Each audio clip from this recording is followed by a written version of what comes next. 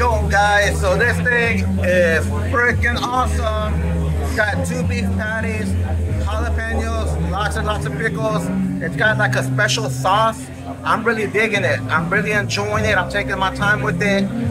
Uh, and I'm already getting full, but it's just, I can't quite explain it. You'll just have to try it yourself.